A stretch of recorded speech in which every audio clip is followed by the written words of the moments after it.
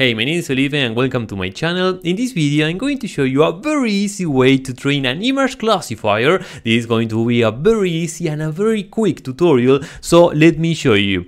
We are going to work with Google Colab, this is a notebook in my Google Colab and we're also going to work with Google Drive. So please make sure you create a directory in your Google Drive in order to work on this project. Now let me show you the data we are going to use today, or actually let me show you the data I am going to use in order to train this image classifier. I'm going to work with the Fashion MNIST dataset, which is a very popular dataset in computer vision. You are going to find this dataset a lot in different computer vision related tutorials, or actually different image classification related tutorials. This is a very popular dataset, and this dataset is comprised with many, many different fashion related items, right?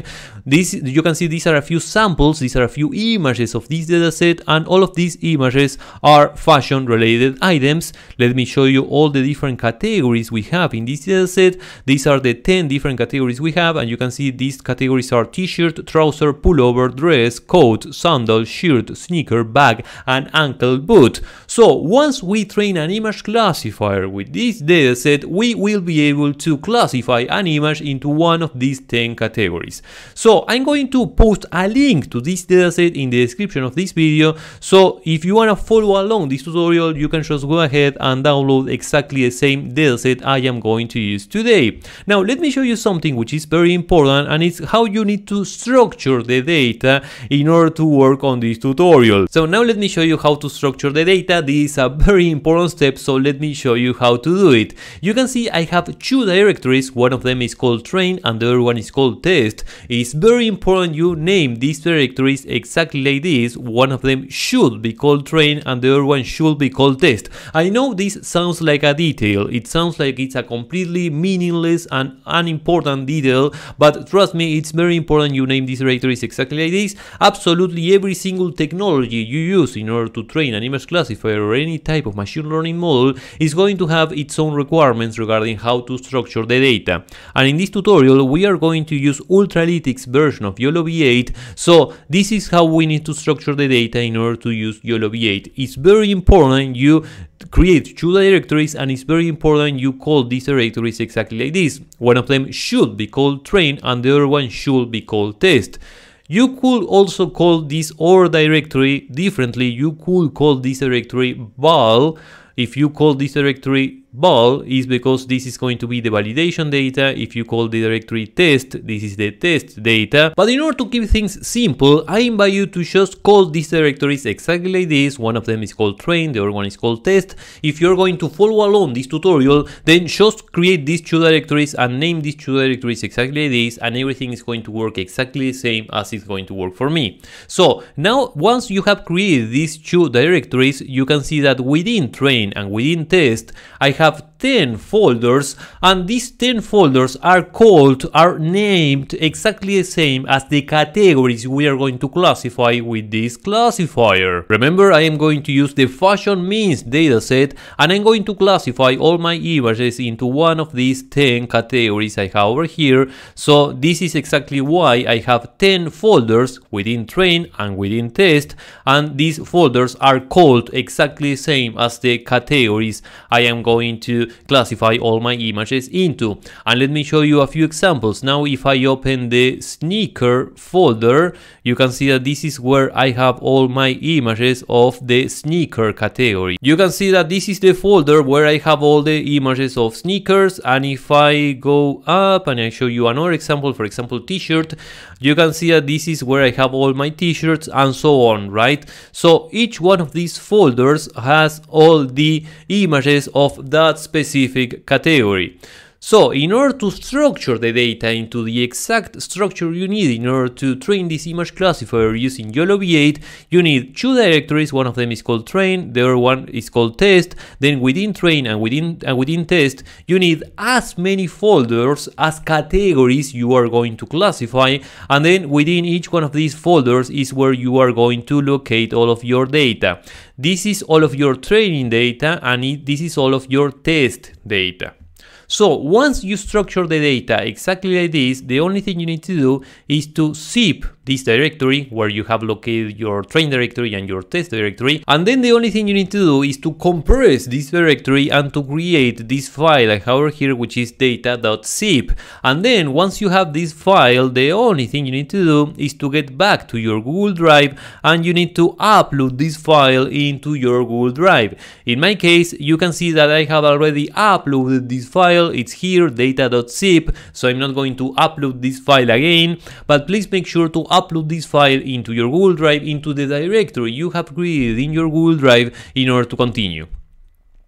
Now let's get back to Google Colab, let's get back to this notebook in my, in my Google Colab and let me show you how to train this image classifier. And remember, this notebook will be available in the GitHub repository of today's tutorial, so just take a look at the description of this video and you are going to find a link to the GitHub repository of today's tutorial and this is where you are going to find this notebook. So the only thing we need to do now is to execute all of the cells in these notebooks one at a time and that's going to be pretty much all in in order to train this image classifier. So I'm going to execute this cell over here. This is going to take care of mounting our Google Drive into this uh, Google Colab and this is going to be pretty much all we need to do in order to access the data in our Google Drive. And this is going to be pretty much all. Now, remember we have uploaded all of our data over here in this file, which is data.zip. We are going to copy this file, which is in our Google Drive. We're going to copy this file into this Google Colab environment, into this Google Colab instance, and then we are going to unzip all the content of this file here, right? So, it's very important you change this value over here, which is the location of the data you have uploaded into your Google Drive. You can see that now it says uh, train YOLO V8 image classification Google Colab data.zip, which is the location of the data in my Google Drive, right? You can see this is train YOLO V8 image classification Google Colab and the file is called data.zip and everything is in my root directory in my Google Drive which is called my drive which is exactly what we have over here. So just make sure you change this value to whatever location you have chosen for this file in your Google Drive and once you have changed this value over here the only thing you need to do is to press enter and this is going to copy this file into your Google Colab environment and then it's just going to unzip all the content of all the content of this file and that's going to be pretty much all. Okay, you can see that we have extracted all the content of this file into our Google Colab, right? You can see that these are all the images into or in our dataset and that's going to be pretty much all. So the next step in this process will be executing this cell over here, which is going to install Ultralytics, which is the Python package we are going to use in order to train this image classifier. And then the only thing we need to do is to execute this cell over here. You can see that we are importing Ultralytics, which is the Python package we just installed. And then we are defining a new variable, which is called model. And then we're just calling model.train, and that's pretty much much all we need to do in order to train this image classifier. And please notice that the data location is content data, which is exactly where we have copied all of our data over here, right? We have extracted this zip file exactly here, so this is why we are specifying this as our uh, data location. And then the number of epochs, you can see I have set the number of epochs in 5, so I'm going to train this image classifier for only 5 epochs, but you can train this classifier for as many epochs as you want, but in my case I think 5 epochs are going to be enough in order to show you how to train this image classifier. So you can see that this is the training process, everything is going just fine, everything is just okay, and now the only thing we need to do is to wait until this is completed. And once your training process is completed, the only thing you need to do is to get all the results from your training process, right? You want to get the results, you want to analyze your model, you want to get the weights of the model you trained, and this is where all the results were saved in content runs. So the only thing you need to do now is to execute this cell over here, and this is going to take care of copying all the content in this directory into your Google Drive and this is going to be pretty much all in order to get all these results, right? And please remember to change this value over here to the location of your directory in your Google Drive and once you have changed this value over here the only thing you need to do is to press enter and this is going to take care of uh, copying all the files into your Google Drive. Now let me show you if I go back to my Google Drive you can see that this is the directory we have just copied over here which is called runs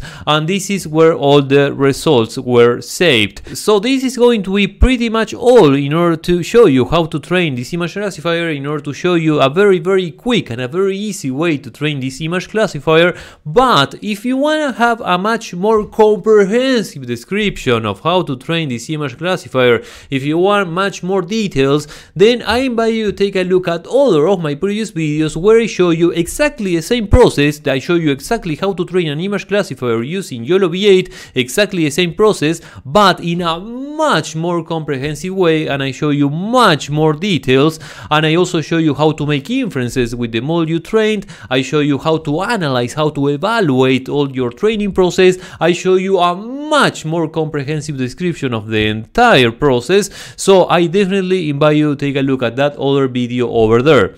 But for now this is going to be all, so thank you so much for watching this tutorial, my name is Felipe, I'm a computer vision engineer and see you on my next video.